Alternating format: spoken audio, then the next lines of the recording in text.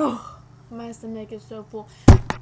Brittany's stepdad's a really good cook, and I was about ate my weight in bread, and I'm pretty sure I'm gonna end up having a heart attack by the end of the night. yes, true story. Do you have a, a hoodie that I can borrow? She gave me a very sarcastic look. No, no, I'm trying to. Yeah, I'm just trying to. She's thinking. She has her laptop beside mine. And the hoodie. And look, here's her laptop. Oh. Can you see it? Nope. No, you can't. Right there. Right there. Our laptops are gonna be friends. They're gonna be friends. Benton's, you play soccer?